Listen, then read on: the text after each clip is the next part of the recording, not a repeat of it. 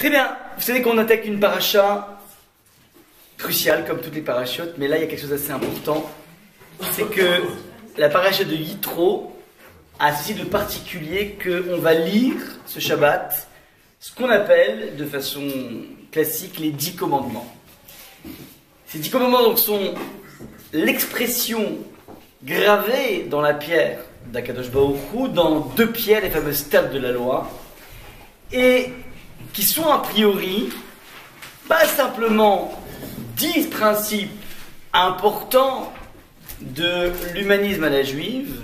Il faut comprendre que dans les commandements qui vont être gravés dans cette pierre, on a dans ces dix commandements, on va dire, des sortes de têtes de chapitre.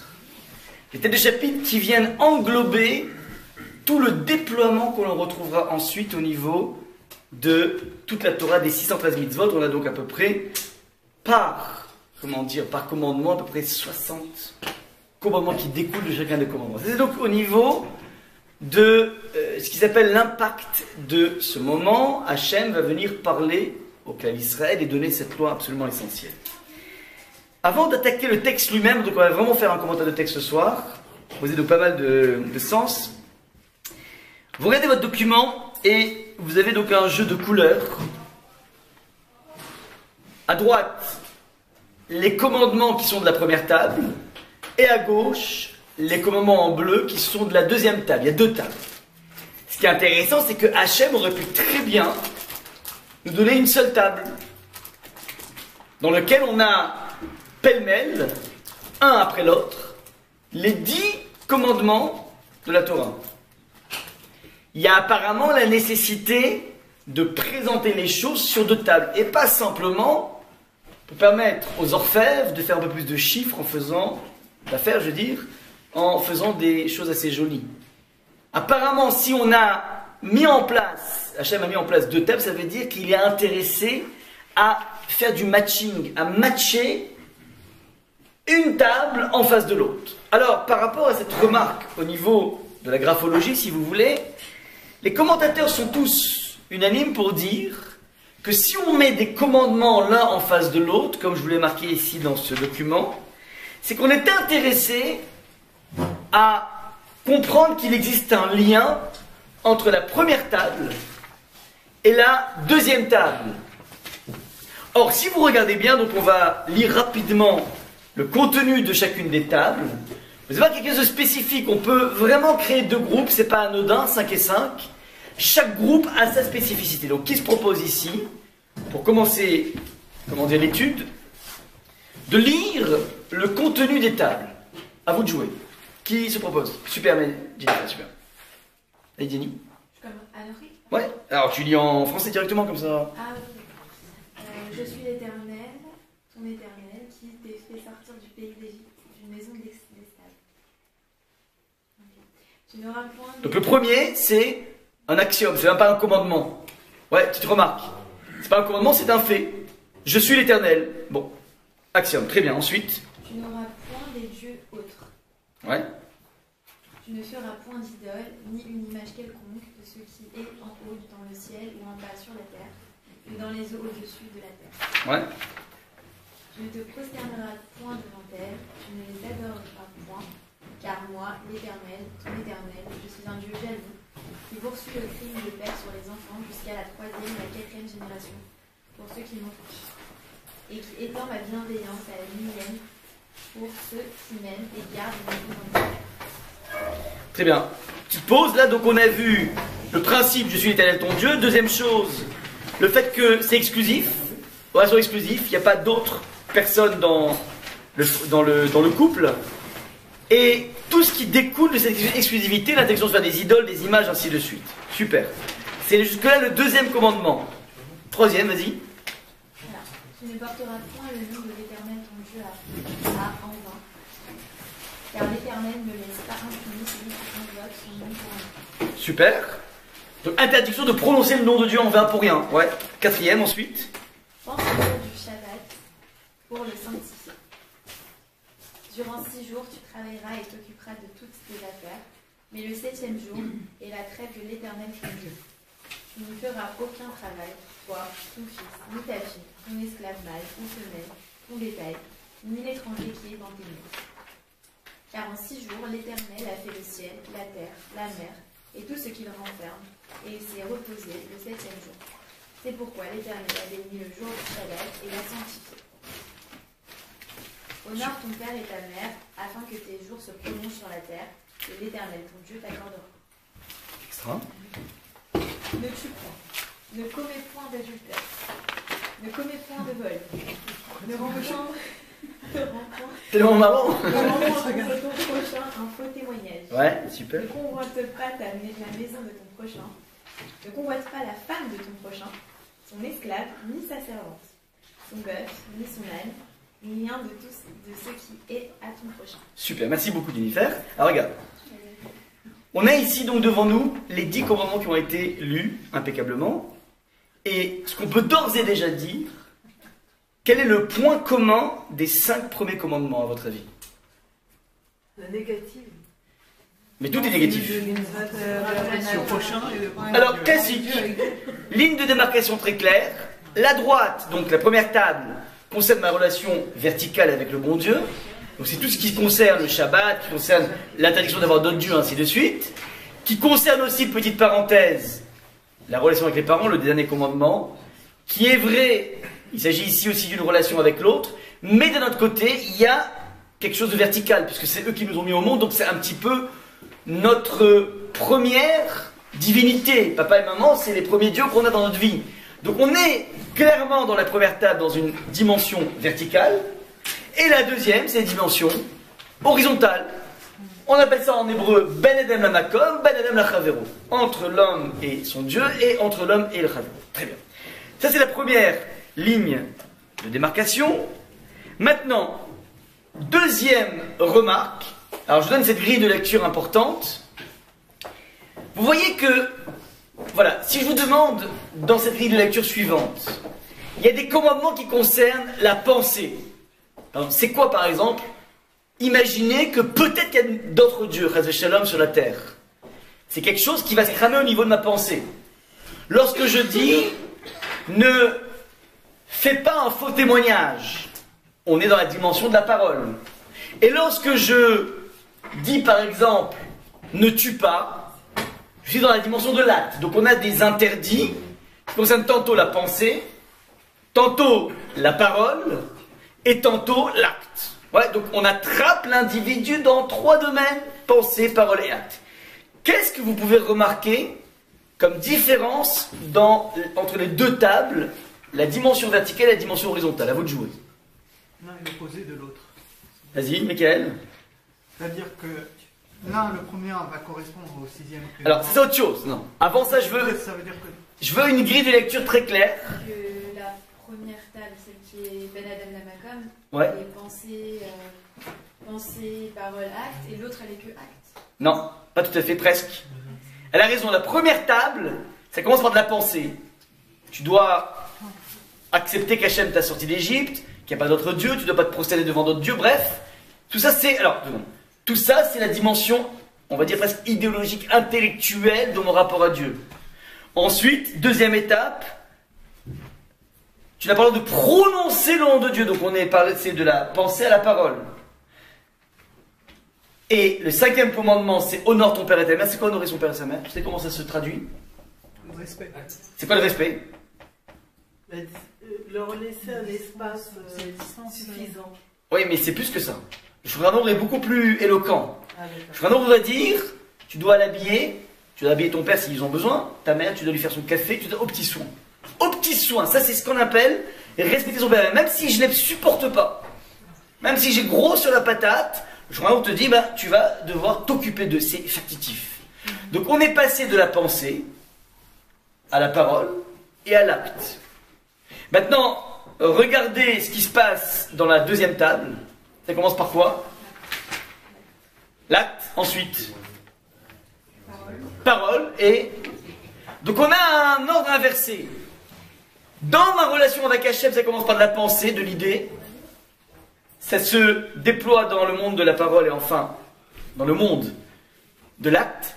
Et inversement, lorsqu'il s'agit de la relation autrui, la première des choses qu'on vient t'interdire, c'est l'en Tirtsar ne tue pas. Cette personne que tu ne supportes pas, dont tu as vraiment l'impression que le monde serait tellement mieux sans cette personne, tu parles de tuer. Deuxième chose, l'otin af, adultère. On est dans les, les faits. Ensuite, on a ce qu'on appelle ne pas faire un faux témoignage, c'est pas de l'acte, mais c'est de la parole. C'est une parole qui acte, mais c'est une parole. Et enfin, dernière chose, notre harmone ne convoite pas. Convoiter, en général, se fait de façon totalement, comment dire, euh, invisible. Pas ça l'intérêt, même si tu peux avoir des expressions dans lesquelles on sent que tu es gêné, mais a priori, ça ne franchit pas la frontière de la parole, en général, la convoitise. ouais. Donc, on a ici un sens inversé, on aurait pu très bien imaginer le même sens. À votre avis, pourquoi? Ouais, il vous manque des trucs? Il y en a un. Pardon, excusez-moi. J'en ai, j'en ai, ouais. Hop. Allez-y. Euh, mettre en évidence que le fait Il y en a encore. On l'a fait passer, ouais. Mais, Michael, Elisheva, tu peux faire passer? Tu fais passer des documents là-bas. Où, où je suis passé Moi, je Fais là-bas. Voilà. Celui-là Il y en a plein? Pardon? Peut-être pour euh, mettre en évidence le fait que euh, envers Hachem, ça commence, même la pensée, ça suffit pour, euh, pour déjà l'atteindre, Ouais. alors que euh, envers autrui, on a besoin d'un acte quand même plus Pas mal. marqué pour. euh, Pas mal. de la- Pas mal, pas mal. Je vous donne la réponse qui est donnée, une réponse classique qui est assez, euh, comment dire, intéressante pour nous. Je ne réponds pas à cette question, je répondrai après une autre question. Une question qui est posée, une question classique qui est posée, c'est que à chaque fois qu'on fait un acte de mitzvah dans la vie, faites passer encore si. Il y a encore des. Vous avez Tout le monde là ou pas? Euh, Lorsqu'on fait un acte de mitzvah, alors, elle est toujours précédée, les, les sages ont institué une bracha. Par exemple, tu vas allumer les nérodes de Shabbat. Baruch ata Hashem, euh, non, non, Shabbat. Tu dis, une sorte de remerciement, en fait qu'Hachem t'a demandé d'allumer les bougies. On va faire, son talit le matin, on fait une bracha. Tu vas allumer ta Hanouka, tu fais une bracha. Tu vas prélever la chala, tu fais une bracha. Tout acte religieux est en général toujours précédé d'une bracha. Une question qui est posée par des commentateurs euh, médiévaux, je crois. Pourquoi, lorsqu'on va visiter un malade, lorsqu'on met une pièce dans une caisse de tzedaka, lorsque tu fais un don à un gala, on ne précède pas ce don d'une bracha qui serait Baruch ata Hashem Elokeinu melech haolam, Asher kideshanu b'mitzvotav et tzivanu, la sot tzedaka, la sot chesed, béni sois-tu l'éternel, qui nous a ordonné de faire du bien, de faire du chesed. Pourquoi on ne ferait pas une bracha par rapport à ça? C'est une question qui est assez classique, qui est posée. Donc on devrait aller voir un malade, par exemple, avant de rentrer dans la chambre d'hôpital, tu dis Baruch ata Hashem la sot bikur cholim, aller voir un malade. C'est une mitzvah, elle devrait être précédée par, comment dire, une bracha. La réponse qui est donnée par un maître est la suivante. Lorsqu'il s'agit de m'occuper d'autrui, aller visiter un malade, aller donner de l'argent à quelqu'un, aller soutenir psychologiquement une personne, alors là, c'est tellement urgent qu'il n'y a pas de place pour le bon Dieu. Il n'y a pas de place pour faire une bracha. On n'a pas le temps. C'est immédiat. Le monde de l'acte est le monde qui prime. Bien qu'il s'agisse d'une mitzvah que je fais, mais il n'y a plus de place pour parler avec Hachem. À l'instar un petit peu de ce qu'on avait vu chez Abraham, lorsque trois idolâtres débarquent, il était en pleine communication avec Hachem, il dit écoute Hachem, minute, je te mets la, musique d'attente, et je m'occupe des trois arabes qui débarquent, qui sont des idolâtres. C'est-à-dire que la dimension intersubjective, la relation à l'autre, est tellement urgente, et Hachem est intéressé par ça, qu'on ne laisse pas de place à la dimension d'Abraha. C'est la même chose ici.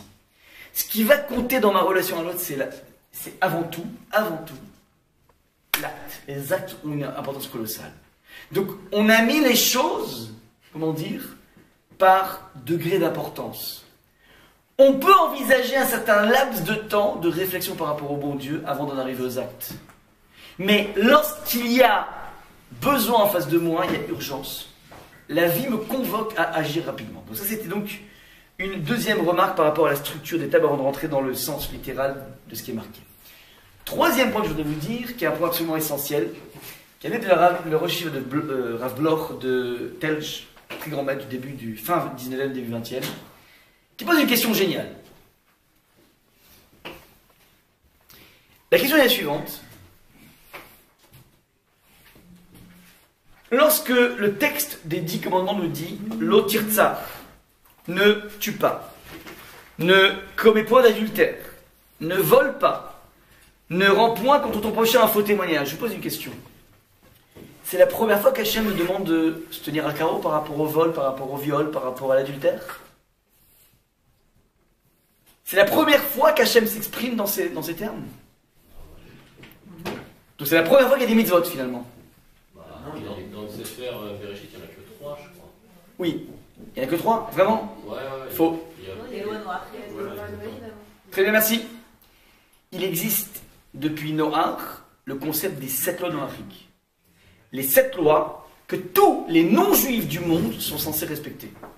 Un esquimau du pôle sud, je ne sais pas s'il y en a, est censé minimum, légal, minimum de l'humanité, c'est un de ne pas tuer, de ne pas voler, de ne pas commettre d'adultère, de pas, comment dire, vivre dans un état de non-droit.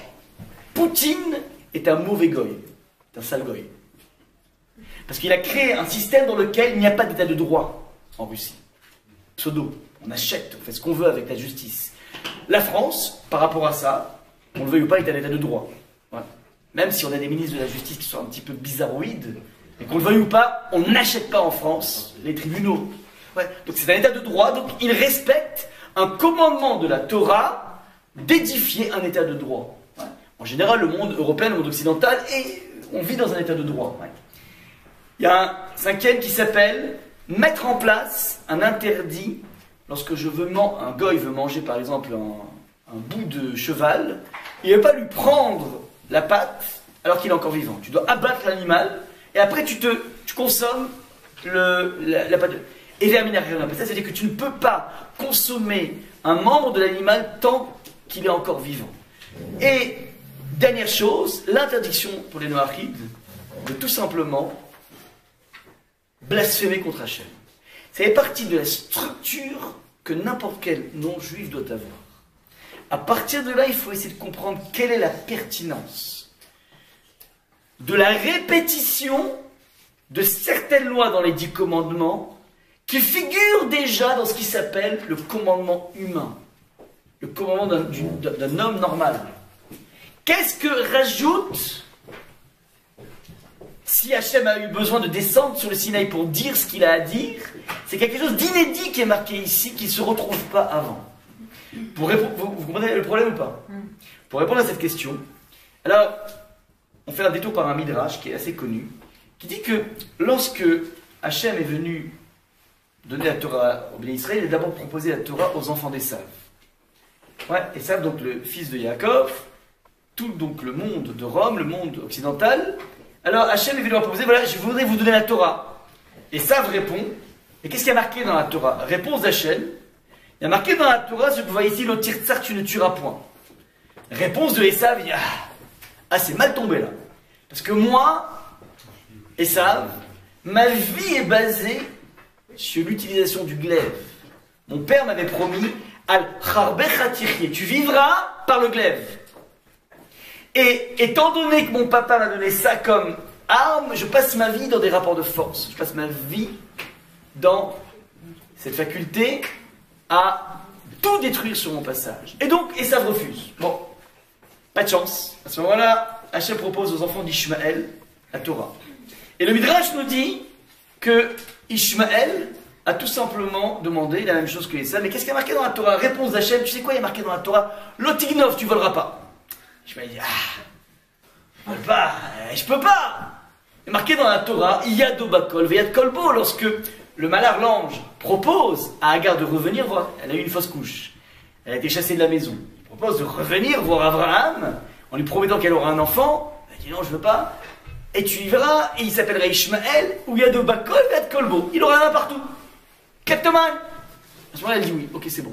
Elle dit, mais moi, dans ma structure, ouais, et j'ai été programmé quelque part pour ne pas respecter la frontière des biens d'autrui.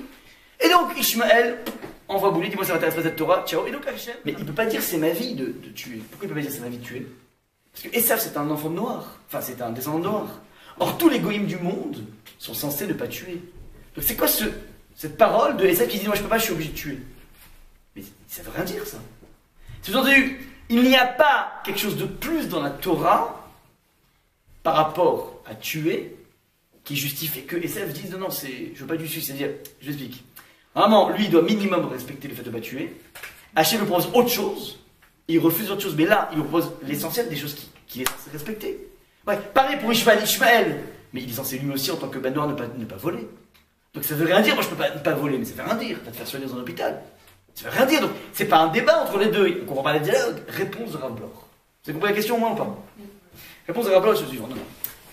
Il faut comprendre la chose suivante. Évidemment, les enfants d'Ishmaël, évidemment les enfants des Saves, sont soumis aux lois de Noachid. Et lorsqu'il vient dire à Hachem, on refuse ta proposition, c'est pas la proposition, euh, comment dire, grossière de dire, voilà, est marqué dans la Torah, l'otir tsar, tu tueras pas. Ça veut dire, t'as pas le droit, si t'as un problème avec un bonhomme, de prendre ta Kalachnikov et de l'allumer avec euh, ta Kalachnikov. C'est pas ça qui avait marqué. Il y a marqué ça aussi, mais il y a autre chose qui est marqué. Et marqué aussi le fait que si, comment dire, je décide de monter un business, le même que le tien, en face de toi, je dois considérer ça comme si je t'avais... Pardon, euh, inversement. C'est quoi l'adultère? C'est comme si je montais un business en face de toi et je décide de, monter pour te couler. Il y a quelque chose, les ramés vont dire que ça, ça rentre dans l'interdit de l'adultère. Lorsque un pauvre qui me tend la main me dit bonjour et que je passe devant et je refuse le bonjour, je l'ignore, on s'est engagé au Mont Sinaï, nous les Juifs, à vivre ça comme si je l'avais tué. Parce qu'il n'a de richesse dans sa vie que son identité et sa faculté à, communiquer et dire bonjour. Si je le refuse ce bonjour, je suis en train de le tuer et, sous-entendu, nous nous sommes engagés au Arsinaï à vivre les interdits dans leur plus grande subtilité. Et c'est ce que les enfants d'Essav, les enfants du refusent. C'est-à-dire, nous, stricto sensu. Je me suis engagé maximum, dit Essav, à ne pas prendre une Kalachnikov et défoncer tout le monde. Mais ne commence pas à rentrer dans les subtilités de l'esprit du vol ou l'esprit du Retzar. Pareil, je dis moi, maximum, je prends pas des, des pommes à l'étalage. Je vole pas. Ça, je me suis engagé, je suis un bête noir. Mais me demander plus de subtilité, ça, je peux pas. Rentrer dans ce niveau. Le mont Sinaï est venu amener aux Juifs une élaboration, un déploiement de toute la subtilité des interdits grossiers. D'ailleurs, c'est intéressant. Le mot qui précède chacun des interdits, c'est l'eau. L'eau. Ouais. Ne tueras pas, tu ne voleras pas. Mais en fait, il y a deux expressions pour dire non en hébreu. Il y a deux expressions. Il y a l'eau, et quelle est l'autre expression qu'on voit beaucoup dans le livre de Dvarim Pardon? Peine, c'est de peur, c'est autre chose. Haine, c'est- il n'y a pas. Mais ne pas. Comment on dit ne pas en hébreu Al. Al t'as assez, al t'as assez, al t'as assez. Ouais. Maintenant, l'eau et al ne veulent pas dire la même chose. Al introduit un interdit ponctuel. L'eau, c'est pas ponctuel, c'est générique, c'est-à-dire je dis non au vol, je dis non à l'adultère, je dis non, comment dire, à tout ça. C'est beaucoup plus général que l'interdit euh, local. Non à l'adultère, on s'est engagé, nous les juifs, à ce que si, dit le Shulchan un individu regarde le doigt d'une personne en prenant du plaisir, ça s'appelle de l'adultère. Attends, quel doigt ça j'ai rien fait, j'ai rien, même pas touché, non. Les choses qui sont interdites à voir, t'as pas le droit de les voir. C'est pas ta femme, t'as pas droit de regarder. Tu peux voir sans regarder. Eh ben, on s'est engagé avec ce degré de subtilité, c'est le défi qu'on a voulu accepter d'Akadosh Baruch. Et c'est ça que les autres nations n'ont pas voulu. Et ils ont le droit. C'est une proposition, c'est optionnel. Ils ont le droit. Il n'y a, a, a aucune stigmatisation négative de refuser. T'es pas obligé de rentrer dans ce degré de subtilité. Ils n'ont pas voulu. Donc voilà un petit peu comment on comprend la chose. Ce que l'on touche ici, évidemment, est du domaine du générique qui a toutes ses ramifications. Une fois qu'on a dit ça, on peut, si vous voulez bien, attaquer, comment dire, le mot à mot de ce qui est marqué. Je vais essayer donc de vous proposer un festival de réponses à des questions qui jaillissent, en commençant donc par le premier interdit. Le texte de la Torah, comment dire, Elle est repassée la fiche ou pas? Une fiche qui est repassée ou pas Non. Alors, je... non, reviens, je la mets. Euh, Celle-là. Elle est repassée, ouais? Euh, bon, je sais pas si c'est- elle est complète ou pas. Alors voilà, si on sinon, si on part par celle-là, merci. Complète- Ceux qui ont besoin qui mettent, merci. Regardez, je commence par le premier commandement. Anochi Hashem Elokecha, Asher. Donc là, on se concentre bien, on regarde bien le texte, parce qu'il y a plein, plein, plein de messages qui sont essentiels. Anochi Hashem Elokecha, je suis l'éternel ton Dieu. Asher Otiticha Meretitreim qui t'a fait sortir d'Égypte. À votre avis, quelle est la nécessité au moment où Hachem pose le postulat Je suis l'éternel ton Dieu? Quelle est la nécessité de évoquer le fait que c'est moi qui t'ai fait sortir d'Égypte À votre avis, pourquoi? Pourquoi c'est ça cette carte d'identité? C'est pour ça qu'ils sont sortis d'É- d'Égypte pour, euh, pour, euh, faire les, les- pour recevoir Torah et non? Pas mal, on n'est pas loin. Alors, encore plus, ouais, pas mal, on y est pas mal. Ça veut dire, il a besoin de se présenter comme étant celui qui nous a fait sortir d'Égypte pour deux raisons, d'après les commentateurs.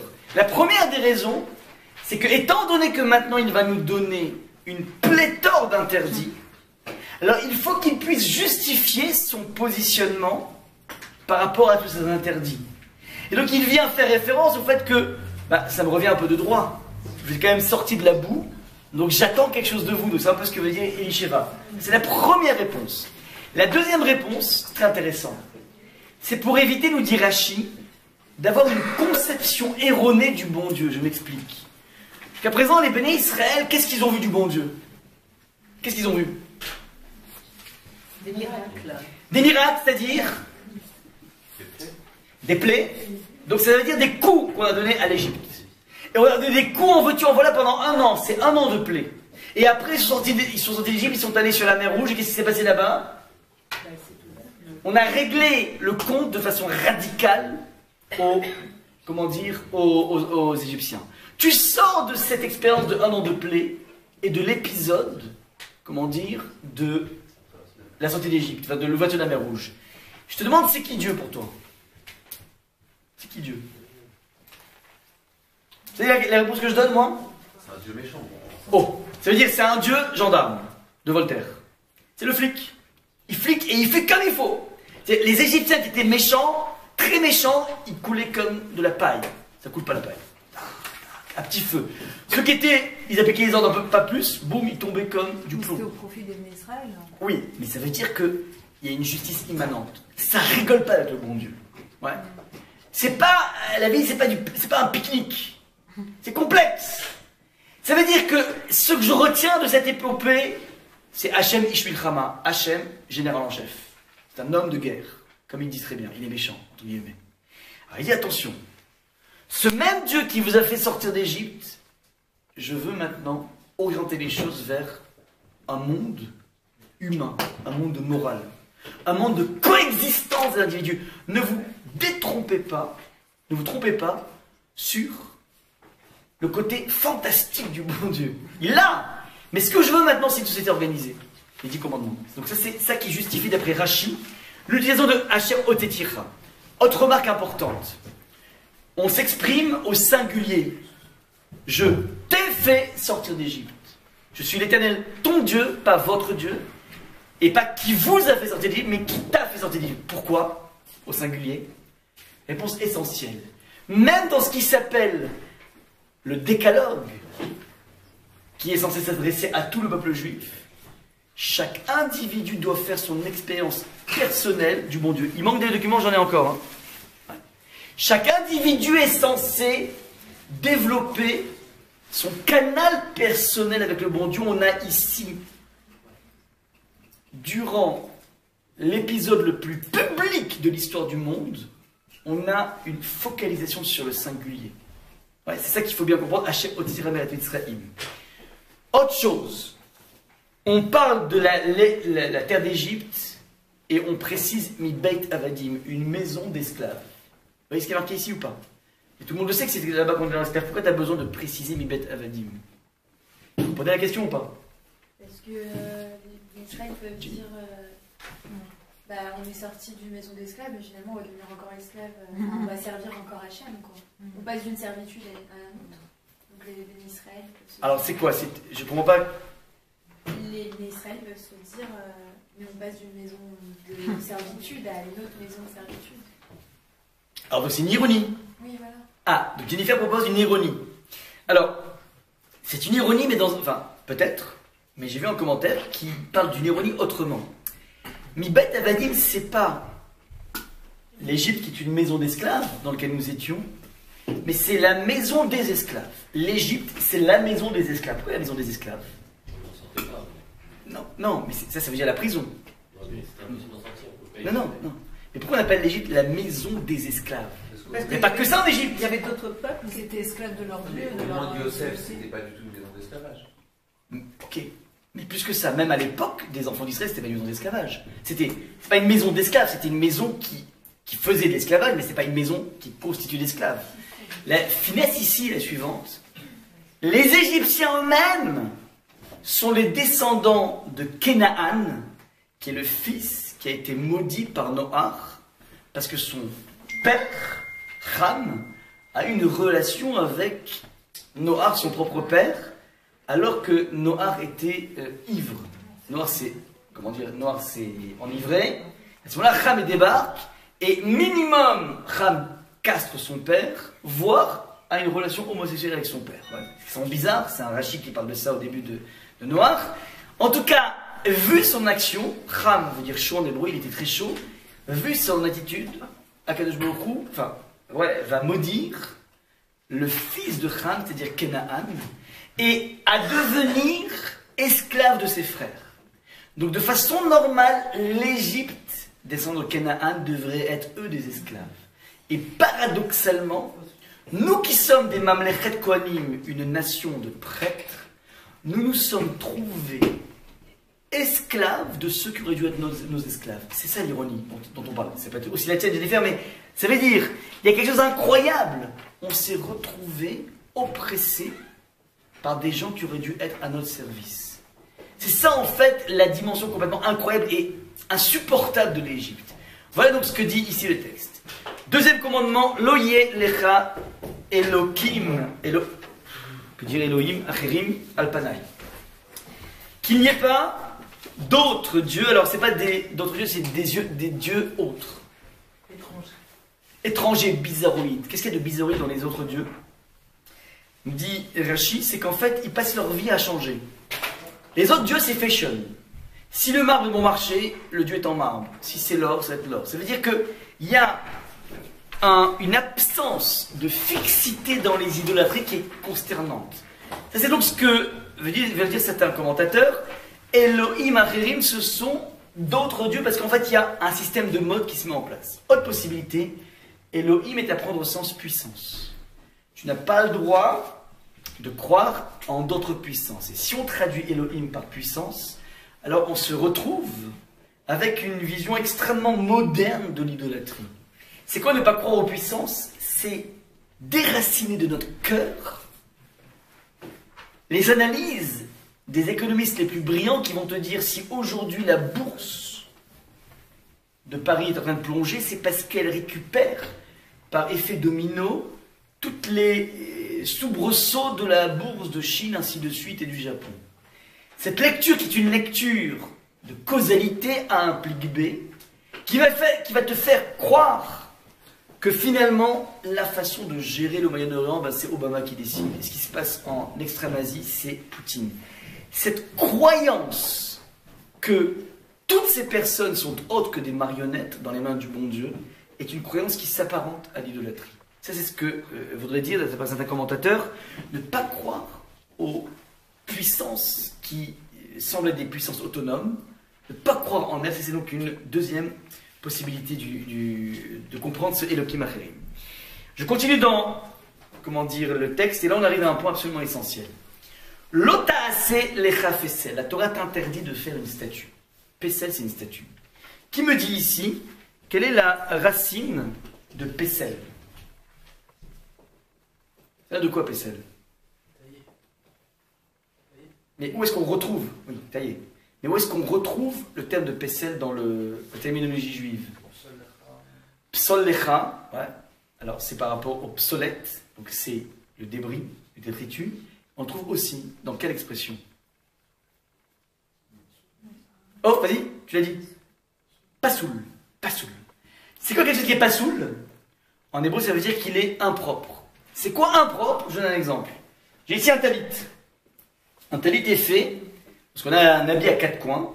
Alors, on prend quatre fils, un trou dans l'habit, et dans ce trou, on fait passer les quatre fils de façon à avoir huit bouts. Ouais, donc quand tu plies en deux quatre fils, ça fait huit bouts. On va les tisser avec notre façon de les tisser, avec des trucs cabalistiques un peu, un peu complexes, peu importe. Et pour rendre pas sous l'intalit, pour le rendre impropre, t'as pas besoin de prendre un ciseau et le charcuter. Il te suffit de, de façon très fine, à une des racines, tu coupes un des fils, 1 sur 8. Ouais, donc ça fait même pas ça fait 10%, 15%. Tu coupes un, boum, je dois prendre le talit, le jeter tout de suite. Enfin, je peux plus même, je peux plus porter ce talit. Le passoul, c'est pas lorsque c'est dé, lorsque c'est déchiré. Le passoul, c'est une notion qui indique que la chose est presque parfaite, mais c'est pas parfait. Le passoul, pour donner l'image, rêve vous avez dit, c'est un peu comme l'histoire des, pour les phila- les philatélistes, le timbre. S'il manque une dent à un timbre, il vaut zéro. Je comprends pas, mais on voit parfaitement l'image. On voit parfaitement l'image. Le dessin est parfait. Ah, une dent, arrête, ça vaut même pas. Non, non, il vaut plus rien. Ça veut dire, faites attention. Le pécelle, c'est le presque parfait. Ça veut dire que la statue, c'est du presque parfait. Mais comme c'est pas parfait, alors c'est interdit. Qu'est-ce qu'on entend par là? Réponse. Akadosh Baruch la définition est la suivante. Ne veut pas qu'on se limite à ne faire qu'une statue de lui, qu'une image de lui, un portrait de lui. Pourquoi? Parce que par définition, tu vas circonscrire le bon Dieu dans un objet matériel qui sera forcément limité. Ça, c'est donc la définition de l'interdit. Maintenant, faites bien attention.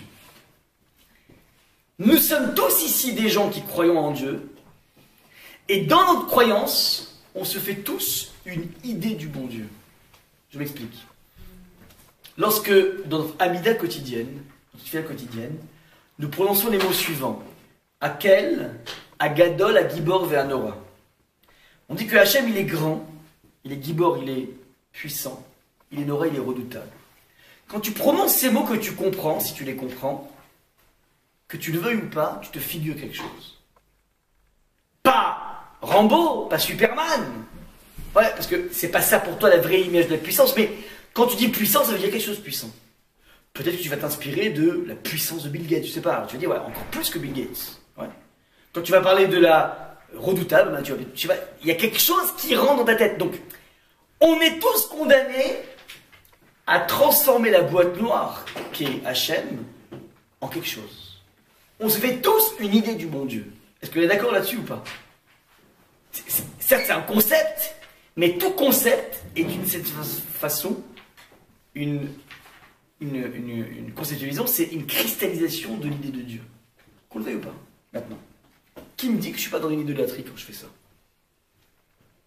Qui me dit que je suis pas en train de rentrer de façon subtile, évidemment. Donc c'est pas c'est pas un Bouddha que j'ai édifié dans mon jardin.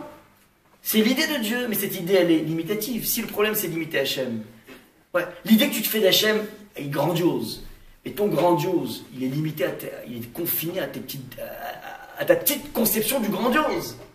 Donc quand tu te fais une idée grandiose d'Hachem, tu es en train de le limiter. Donc c'est l'idolâtrie. Ariela.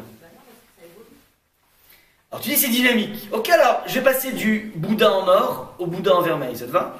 Non, la pensée, elle évolue constamment, alors que l'objet, il reste. Pas mal, il y a une dynamique maintenant. Maintenant. L'élément de réponse est le suivant. Lorsque nous disons à quel Agadol, à Gibor, Vanora, qui c'est Donc ce sont des mots qui, sont, qui figurent dans la Mida. La Mida a été écrite à peu près en moins 300 par les gens de la Grande Assemblée. D'où proviennent ces mots à quel Agadol, à Gibor, Vanora Comment? Qui a dit les premiers ces mots? David. La Non, pas pas Shira. Non, pas Rachid, non. Non plus. Alors je vous le donne. Vous donnez votre langue aux chasses. David, tu donnes la langue aux chasses? Non? Tu vas. C'est mon cher Rabbeinu. Mon cher Rabbeinu, qui est l'homme qui a eu la- le contact avec le bon Dieu le plus intense. Trois fois 40 jours. Sans boire, sans manger, sans dormir, sans, rien. Sans rien. Même pas canal canal- canal gousse pour se protéger du froid. Ça c'est Moshe maintenant. Après cette expérience incroyable, devant Hachem, il ressort de temps il dit voilà, tu sais quoi, Hachem, il est Agadol, Agibor Vanora, il est grand, il est redoutable et il est héroïque. Étant donné qu'Hachem, euh, Moshe, nous dit ça, c'est pour nous forcément une asymptote, on ne peut pas dire mieux que ça. Donc à partir du moment où c'est l'expérience ultime, on est au summum, au climax, comme on dit en anglais. Alors à partir de là, je suis sûr que je ne suis pas comment dire, j'ai pas limité Hachem. Parce que, certes, je me fais une idée de lui, qui est une idée dynamique comme elle dit Ariella, mais je sais que c'est une idée ultime, mieux que ça on peut pas. Et qui me dit que le mieux que ça on peut pas, c'est validé par Hachem, c'est un verset dans, dans, dans les Shirachirim. Shirachirim dit un truc incroyable.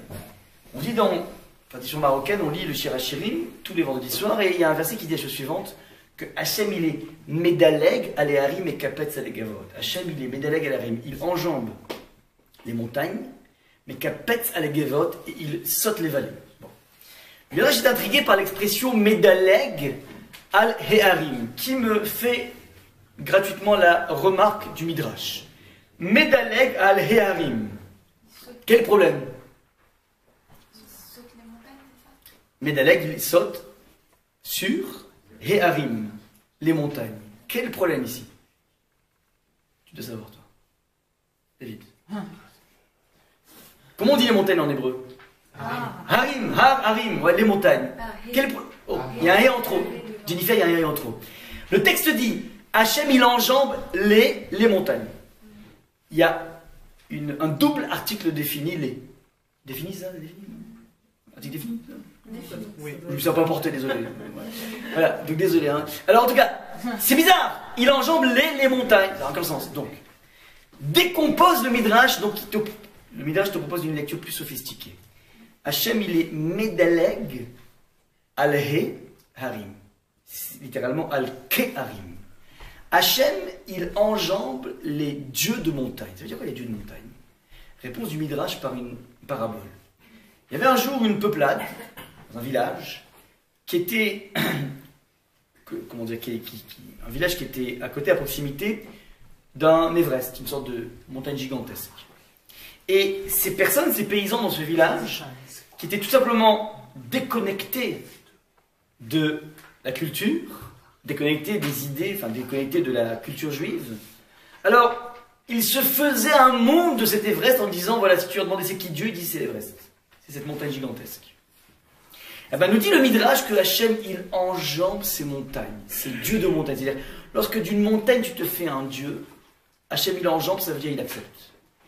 C'est-à-dire, étant donné que c'est ton acception ultime, maximale, alors c'est validé par Hachem. Le problème de la Vodazara, de l'idolâtrie, c'est que fondamentalement, tu t'arrêtes à mi-chemin parce que tu es intéressé à t'arrêter à mi-chemin. Tu n'es pas intéressé à rentrer dans un service dans lequel tu es prêt à tout donner. Tu es prêt à faire des offrandes, tu es prêt à amener des petites mandarines comme ils font les Chinois, vous savez, dans le 13e. Ils ont tous un petit Bouddha dans leur. Ouais, je ne connais pas. Ouais. Et donc, ils viennent am- amener de façon spirituelle des offrandes au, comment dire, à leur, à leur statuette. Ouais. Mais c'est une sorte de troc, le système des l'idolâtrie, ça veut dire je te donne ce que tu as besoin, et toi tu me donnes ce dont j'ai besoin. J'ai besoin d'amour, j'ai besoin de fric, j'ai besoin de, comment dire, de, de- de santé, d'éducation de mes enfants. On fait un troc ensemble. Ça, c'est la démarche de l'idolâtrie, c'est-à-dire je ne donnerai pas tout. Je donne à condition de. Hachem est intéressé à un don total de l'individu. C'est quoi le don total? C'est l'attitude dans laquelle tu vas voir que la chose la plus gigantesque que tu as en toi, c'est la plus infinie, c'est ton cerveau. Eh ben, tu es capable de tout donner au niveau de ton idée avec Hachem. Hachem, c'est le must, il n'y a pas plus que ça. Tu es prêt à t'engager totalement dans Hachem. C'est ça en fait, et c'est une nuance incroyable. C'est pour ça en fait que la Avoda Zara, idolâtrie se dit Avoda Zara. Avoda veut dire service. services. On, on s'appelle, nous, à Paris, des Ovdei Hachem, des gens qui servent Hachem. Et eux, c'est un avodat que ça commence bien, il y a une volonté de servir, mais qui vire ensuite vers quelque chose d'étranger. Ouais. C'est quelque chose qui est étranger, c'est que finalement, ils sont arrêtés à, mi- à- à- à mi-chemin. Raftaz donne une, une- image géniale. Hachem veut que tu sois capable de tout donner chez toi. Le système de la Vodazara, c'est fonctionner avec ce qu'on appelle du shochat. C'est-à-dire, c'est comme si je voulais aller acheter une PlayStation dans un magasin, dans un Toys R et plutôt que de payer le prix fort de 300 euros, je sais pas combien, je glisse un petit billet de 50 à la caissière pour qu'elle me fasse passer le truc sans passer. C'est ça en fait la Vodazara. La Vodazara, c'est quoi? C'est je te file un petit billet et tu m'arranges ma parnassa, tu m'arranges mes enfants, tu m'arranges tout. Mais je suis pas prêt à tout donner pour toi. Il y a un- En fin de compte, il y avait un philosophe, je ne me rappelle plus comment il s'appelle, un nom un peu bizarre, philosophe du 3 siècle, qui dit, ou du moins, du tro- moins 300 ou plus 300, je sais plus je peux vous retrouver, qui fait des remarques incroyables. Il dit que, je ne sais pas si vous avez remarqué, dans toutes les. dans la mythologie, il y a beaucoup de dieux. Ouais, Poséidon, et, et comment s'appelle, et, enfin, comment dire, les, euh, toute, toute la, pléthore de, dieux qui euh, gravitent autour de la mythologie. Et ce qui est intéressant, c'est qu'ils ont tous dans leur euh, représentation des visages humains, visages d'hommes. C'est-à-dire que lorsque l'homme crée une idole, il faut qu'il ait la, tête, ouais, la tête d'un homme. Je parle pas d'un homme à la place de femme, c'est un humain, un être humain. Ouais. Diane, chasseresse, enfin tous les, toutes les idoles, ouais. Eh ben, ce sont maintenant, c'est Dieu en question. Maintenant, il disait ce philosophe que si les animaux créaient des idoles, les vaches, eh ben, elles auraient toutes des têtes de vaches. C'est-à-dire qu'en fin de compte, il y a dans la Avodazara un culte de soi. C'est un culte de soi. Une projection. C'est une projection, mais c'est finalement quelque chose de profondément égoïste. Pessel, c'est presque parfait, mais c'est pas parfait. C'est pour ça Hu condamne cela. On a ici donc devant nous toute la, comment dire, le déploiement de toutes, les formes d'idolâtrie. Tu peux faire l'idolâtrie par sculpture, par peinture, une image, et ensuite troisième niveau, euh, pardon, quatrième aspect comment dire, le- ouais, Tro- troisième aspect, c'est se prosterner devant elle. Ouais, ça c'est donc ce qui est marqué ici. Je continue dans le texte. On a dit que Akadosh Baruch il est Kana. On a fait tout à l'heure un cours sur Kana, le conscient de Kinyan. Kana, la jalousie provient du Ken, qui veut dire le Kinyan, l'acquisition. C'est quoi la jalousie? C'est croire que ce qu'a reçu ton voisin, ta copine, ton copain, est quelque chose qui ne lui revient pas. J'ai l'impression que ça aurait dû faire partie de mon Ken, de mon nid à moi. Ken Kinyan, dit le Rav Hirsch. Et là, fondamentalement, j'ai l'impression que Hachem a fait un bug dans la distribution des talents et des choses. Maintenant, le texte nous dit que Hachem va faire payer très cher jusqu'à la troisième et la quatrième génération. Tout le monde pose la question, je ne comprends pas. Le petit-fils, qu'est-ce qu'il a fait, le pauvre? Son père s'est mal comporté, pourquoi lui devrait en pâtir? Réponse des Rishonim, la chose suivante. On paye, un enfant paye pour deux raisons. Soit parce que il perpétue le modèle ancestral. Et là, il est répressible. Soit deuxième chose un peu plus subtile, c'est qu'il n'utilise pas sa bouche pour faire un reproche à ses parents. Soit parce que tu perpétues, soit parce que tu ne t'es pas opposé à. Il arrive un moment où vous êtes capable de pouvoir, comment dire, et c'est pas évident, ça prend beaucoup de temps, tout en aimant ses parents, être capable de dire voilà, ça c'est pas normal. Roméo. Comment on fait pour honorer ses parents? C'est pas. Il me semble qu'on n'a même pas le droit d'évoquer l'idée de, Non. par la pensée, par contre, éventuellement, euh, faire en sorte que le, le parent comprenne par les actes, ok, là Ouais. c'est éventuellement. Alors, trouver le moyen de se démarquer par rapport à une conduite que je juge immorale. Ouais. En l'occurrence, attention, lorsqu'il s'agit d'Avodazara, on voit que Abraham n'a eu aucune hésitation à se moquer de son père. On apprend d'Abraham, oui. Donc en fait, c'est pas, c'est pas, euh, c'est pas, euh, j'aime pas trop la façon dont tu cuis le plat. On parle de choses tellement essentielles qu'en fait, là, il y, a, une sorte de contradiction dans les verticalités. Finalement, la verticalité d'Hachem prend le pas sur la verticalité de ses propres parents. Par- Lorsqu'on touche à la verticalité d'Hachem. Ça, c'est donc ce qui est euh, euh, proposé ici au niveau donc de, de- des commentaires, au niveau donc de la, la punition. Maintenant, c'est intéressant. Veose chesed la alafim, les oave ol shomem etzotan, mais Akadosh Baruch il donne par mille pour ceux qui l'aiment. Si tu prends le ratio entre 4 et 1000, ça fait 500.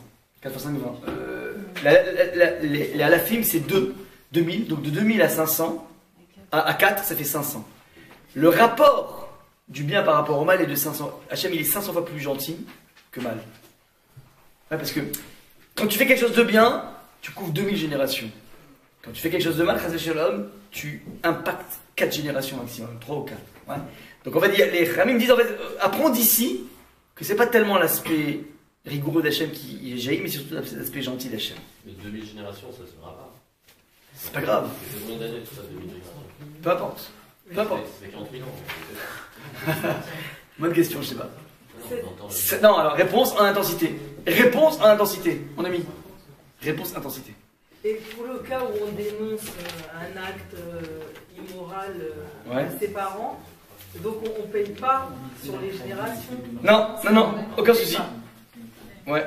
L'enfant ne paye pas. L'enfant ne paye pas le. Non, non, si, si, si, si, il, a- il- il s'est opposé d'un point de vue moral. Euh, ouais. Troisième commandement, Rabotai, tu n'as pas le droit de prononcer le nom de Dieu en vain. Lotissa et Hashem Elokecha Lashav. Le commentaire, enfin le, le sens classique, c'est que tu n'as pas le droit de jurer même pour dire quelque chose de vrai. Par je te jure que c'est une Seiko, je pas le droit de le dire. Même si c'est vrai. Dire pourquoi Non, non, parce qu'en fait, faut pas mêler à Kadosh Baruchou pour des choses aussi, aussi triviales de une personne qui ne fait pas confiance si c'est une Seiko ou pas. Tu dois pas mêler dans les choses trop triviales Hachem. Hachem, c'est quelque chose de grandiose. Et tu dois pas l'utiliser à mauvais escient, même pour dire quelque chose de vrai. D'ailleurs, les commentateurs vont dire que, d'une certaine façon, un individu qui s'amuse, qui s'amuse à sans arrêt, je te jure, sur la Torah, sur la vie de ma truc, ouais, c'est que finalement, la Torah, la vie de sa mère, la vie de je sais pas quoi, n'a pas tellement d'importance pour la mêler sur un dossier qui s'appelle Je te jure que le PSG, il a fait 3-0 contre l'OM. J'ai besoin de mêler de la vie de ta mère par rapport à ça. Ouais. C'est que finalement, elle n'a pas tellement d'importance. Et si tu commences trop à jouer avec cette vulgarité avec Hachem, alors il est fort possible que tu vas remonter un étage et tu vas rentrer dans le problème de l'idolâtrie. C'est la connexion des choses. Ouais. Une absence de, comment dire, de, de, de, référence, de déférence, pardon, par rapport à Hachem peut entraîner une relation à l'idolâtrie. Ça, c'est donc ce qui se trame dans le troisième commandement. Une autre lecture extrêmement subtile, posée par le Horachaï Makadosh, je crois, qui dit que l'otissa etchem Hachem lashav. Littéralement, l'otissa, ça veut dire. Pardon Porter. Ouais, porter. Ne porte pas le nom de Dieu, pas prononcer, mais porter. Ne porte pas le nom de Dieu en vain. Dit-il, t'as pas le droit d'avoir un look et une dégaine de religieux ou de religieuse si tu l'es pas au fond de toi. Faut avoir une déconnexion entre l'image de toi et ce que tu es vraiment. C'est tellement fort cette idée qu'à l'époque, les hommes avaient l'habitude de garder les films toute la journée, jusqu'à la nuit. Et les Ramim sont venus interdire cette pratique, sauf pour des, personnes, euh, euh, spéciales. Parce qu'en fait, un bonhomme qui a les films en permanence, tu as l'impression que c'est quelqu'un de, tr- de très proche de Dieu. En fait, il peut ne pas du tout l'être. La Bible ne fait jamais le moins dans la Torah. Ouais. Ouais. Ça veut dire que l'autre, ne donne pas, ne montre pas des signes extérieurs de religiosité alors qu'à l'intérieur, tu n'es pas encore parfait. On a toujours cette recherche dans la Torah de faire une adéquation, comme c'est dit dans le mot, panim et pnim. Panim, c'est la face, et pnim, c'est l'intériorité. Il faut être capable d'avoir une façade qui reflète ce que tu es à l'intérieur, et non pas cette, euh, ce schisme, cette dichotomie entre l'intérieur et l'extérieur. Je continue. Zachor et Shabbat les Kodsho, quatrième commandement. On attaque ici, cette fois-ci, Zachor et Shabbat les Kodsho. Les commentateurs font la remarque vous savez qu'en fait, à deux reprises, le texte du, des dix commandements figure dans la Torah. La première, c'est ici, par Yitro, la deuxième, c'est par Vaïtranan. Avec des nuances. Pas des coquilles, mais des nuances. Parce que la première correspond aux premières tables, la deuxième correspond aux deuxièmes tables. Et parmi les nuances, lorsqu'on arrive au quatrième commandement dans l'autre version, alors il n'est pas marqué Zachor, mais il est marqué Shamor. Et Shamor veut dire garder. Donc Zachor, c'est se souvenir, et Shamor veut dire garder. Alors, ce sont deux mots, et le Midrash nous dit qu'en fin de compte, c'est pas que deux versions. C'est que même dans la première version, il y avait Zachor et Shamor. C'est pas qu'il y avait marqué Zachor et Shamor, c'est que Hachem les a prononcés en même temps.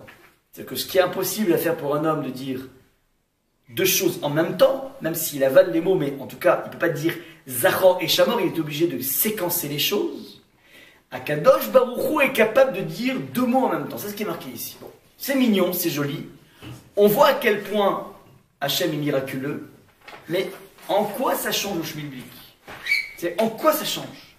Je dis voilà, Hachem, il était capable de dire Zachor et Shamor, et donc ici, il faut comprendre que c'est Zachor et Shamor les deux en même temps. Et alors? Tu vas me parler des produits d'Hachem? C'est penser et acte. Comment? Penser et acte.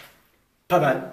Ouais, ne pas faire de dichotomie. Donc, sous-entendu, si on vient te dévoiler qu'il y a eu un miracle spécial, que Hachem, au lieu de séquencer les choses, il a prononcé la chose en même temps, ça veut dire qu'on veut créer un lien entre la dimension du Zachor et la dimension du Shamor, qui ne doivent pas être déconnectés. C'est quoi Zachor, ce souvenir? C'est la dimension positive du Shabbat. On se sape bien, on a des bons mets, on se kiffe à se reposer, on fait des bonnes siestes. Bref, le kiff. Ça, c'est la dimension Zachor de Shabbat, la dimension positive. Il y a une deuxième dimension qui s'appelle une dimension négative, c'est pas ne fais pas, ne fais pas, ne fais pas, ne fais pas.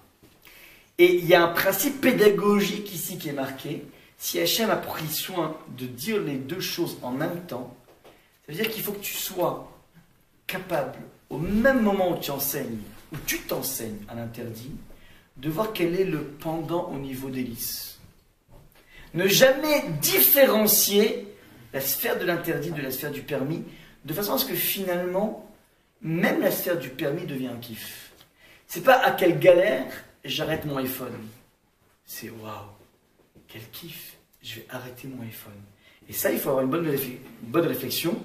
Il faut investir dans le Shabbat. D'ailleurs, c'est intéressant, lorsqu'on te parle du respect du Shabbat, le texte dit, tu dois te rappeler du Shabbat, six jours tu travailleras et septième tu te reposeras. Et l'ota c'est comme tu feras aucune espèce de travail. Ata ovitecha, toi, ton fils, ta femme, ton, serve- ton, ton serviteur et ta servante. Pourquoi on, on déploie les choses? S'il y a un interdit qui est marqué dans la Torah, il est valable pour tout le monde. Vous avez déjà vu que lorsque la Torah demande de ne pas manger du porc, on te dit toi tu mangeras pas du porc, toi, ta femme, tes enfants, tes beaux-frères, tes... Non, parce que l'esclave, il peut être pas juif, et même le pas juif, t'as pas Mais la femme et les enfants, ok, et la femme et les enfants. Toi tu déploies. Ouais, quand le porc est interdit à la maison, bah, il est interdit pour tout le monde, il n'y a, a pas de truc. Quelle réponse Et étant donné qu'ici il y a toute une dimension positive de l'interdit, on le pense, c'est interdit, c'est tout, donc tu, tu manges pas. Donc si tu aimes, tu vis dans la frustration. Mais dans le Shabbat, tu dois en permanence adapter en même temps que l'interdit une dimension positive. Et ça, ça dépend des enfants et, des personnes. Et donc chacun va avoir son approche de Shabbat. Et il faut laisser s'épanouir ici toutes les, comment dire, tout, tout ce qui pourra faire que tu auras du goût dans le Shabbat. Donc voilà un petit peu l'idée. Petite nuance très jolie qui est proposée par les commentateurs. On te dit Shesh Yamim, Shesh Yamim ta'avod. Six jours tu travailleras et tu feras tout ton boulot.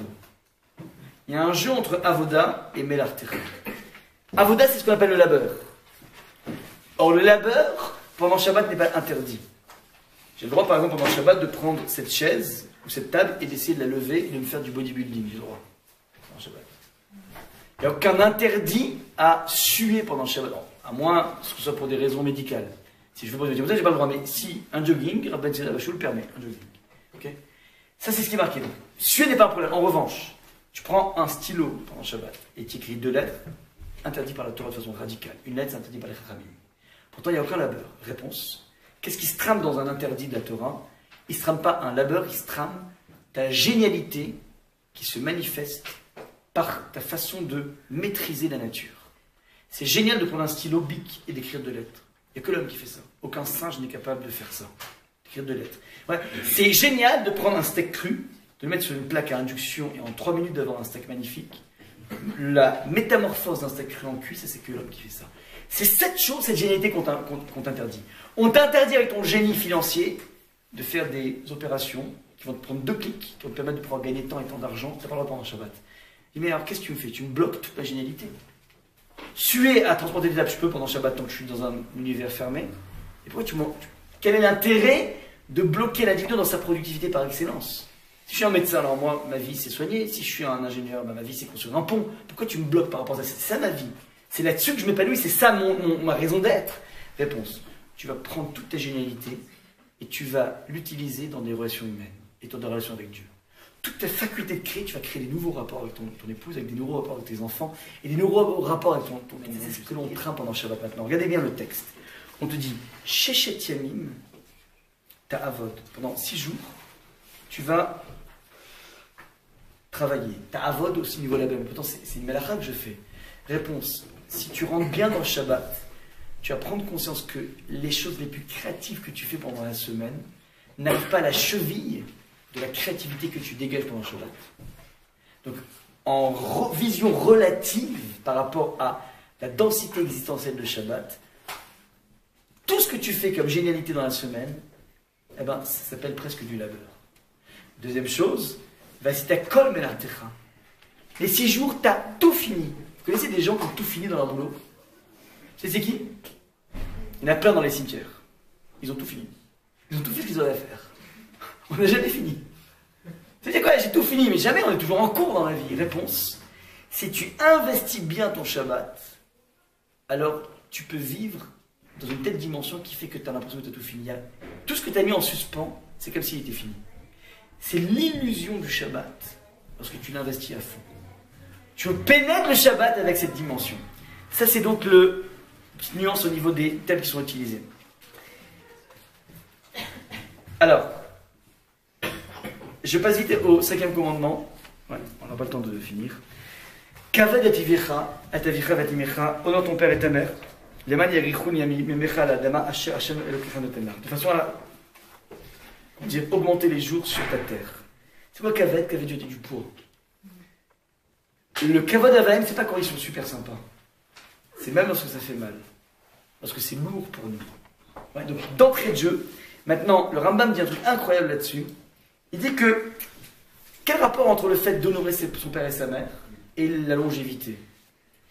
Il dit un truc incroyable. Il dit que lorsqu'on est dans une société dans laquelle on respecte les anciens, ben, d'une certaine façon, ça crée une société équilibrée. Ça crée une société dans laquelle pardon, eh ben, il faut bon vivre. On a un bien-être. Le respect des, des- des- anciens permet d'asseoir une société avec des vrais repères.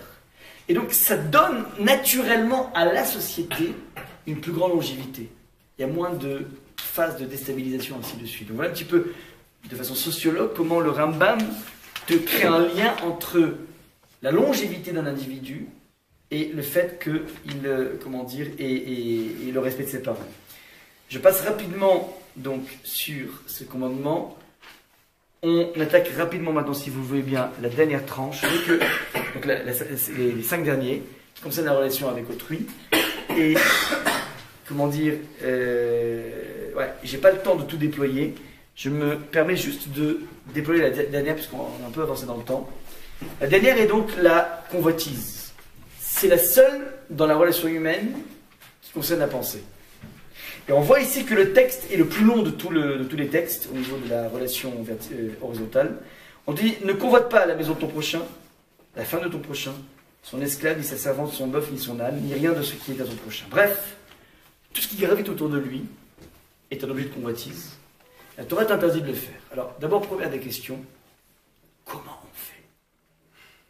La jalousie, c'est super dur à gérer.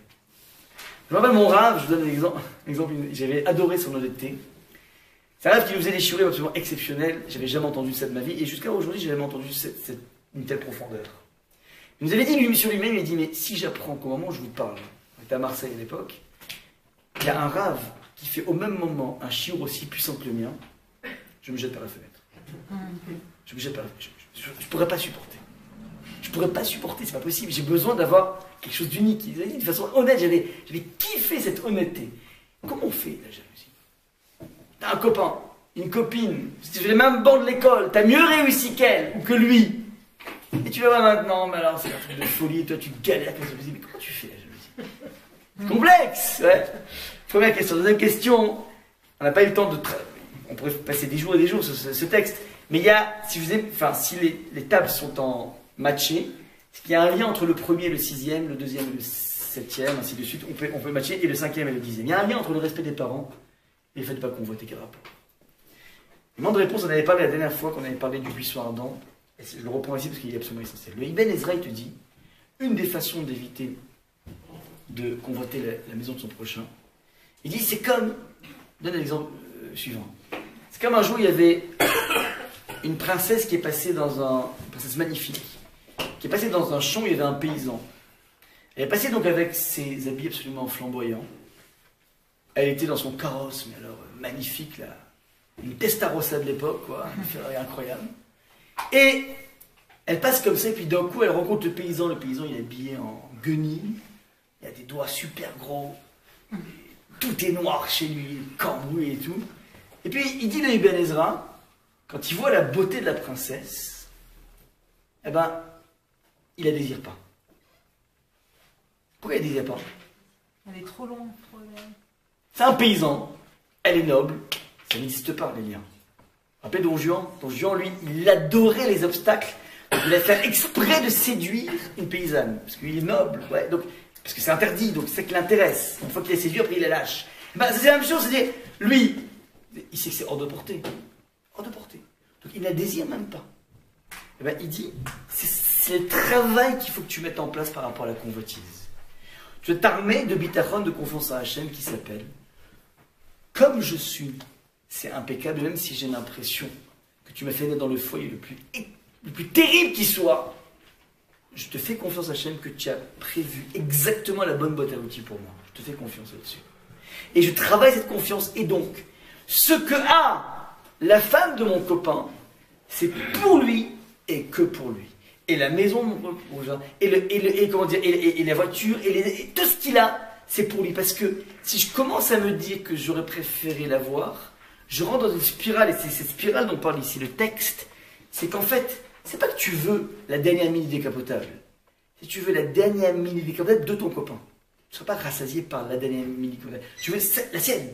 Et tu te dis que tu veux finalement habiter l'histoire d'autrui, l'histoire de ton copain ou ta copine. Et la Torah te convoque ici à essayer de t'asseoir et te dire ce que j'ai, c'est exactement ce dont j'ai besoin pour avancer dans ma vie. Quelle est la relation avec le respect des parents? La Michilta dit un truc incroyable, elle dit que un individu qui ne respecte pas ses parents finira par convoiter son voisin. Quel rapport? Le lien est direct.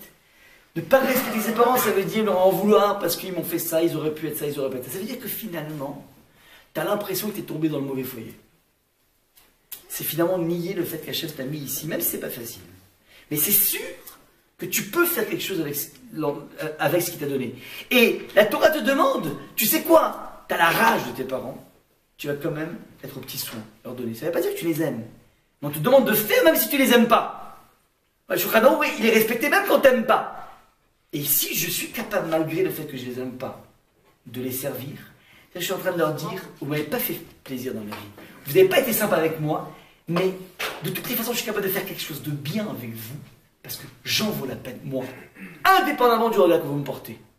C'est une démarche qui s'appelle, je vaux la peine d'être né là où je suis né, malgré tous les sales coups que vous m'avez fait. Cette personne est en train de faire un acte de bitachon, de confiance à Hachem, qui fait qu'il ne pourra pas être gêné par la vision du lot de l'autre. Parce qu'il a déjà géré le propre lot essentiel qui s'appelle ses propres parents. Ça, c'est ce qui se trame ici dans la relation. Donc, fondamentalement, l'étape de la loi, enfin, cette étape vient te dire, en fin, de parcours, comme je suis et ce que je suis, c'est top. Mieux faire, on ne pas. À partir de là, je vais avancer dans ma vie. C'est un petit peu ce qu'on va attraper. Je suis désolé, j'étais obligé de raccourcir. Il y a plein de choses qu'on peut dire, c'est infini. Ouais, Jennifer.